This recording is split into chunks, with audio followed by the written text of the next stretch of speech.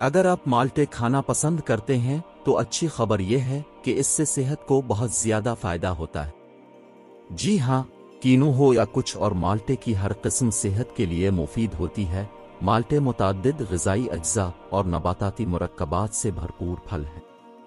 और तहकीकी रिपोर्ट्स के मुताबिक, यह सेहत के लिए मुतद तरीकों से मुफीद साबित होता है। विटामिन सी से भरपूर एक माल्टे से जिस्म को रोज़ाना दरकार विटामिन सी की सत्तर फ़ीसद मकदार मिल जाती है, जो मुदाफती निज़ाम को मज़बूत बनाने के लिए अहम विटामिन है।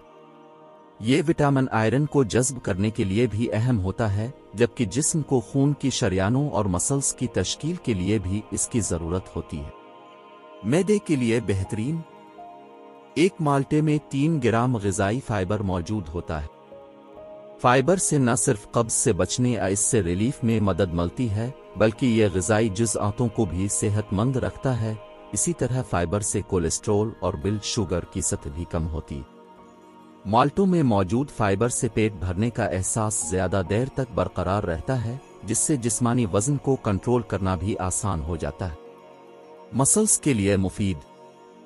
एक माल्टे में 240 मिलीग्राम पोटेशियम मौजूद होता है और ये मिनरल असाब और मसल्स के लिए अहम होता है, जबकि दिल की धड़कन की रफ्तार मुस्तहकम रखता है।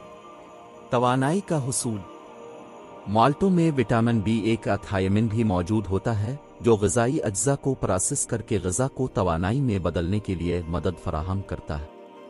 जिस्म के तमाम खलियात को गजा से तवानाई हासिल करने की ज़रूरत होती है, जो इस विटामिन के ज़रिए पूरी होती है बेशतर अफराद माल्टों के गूदे पर लगे सफ़ेद तार हटा देते क्योंकि उनका जायका कुछ तलख होता है। मगर उन तारों में कैल्शियम, फाइबर, विटामिन सी और मुदाफ़ती निज़ाम ताकतवर बनाने वाले एंटीऑक्सीडेंट्स मौजूद होते हैं।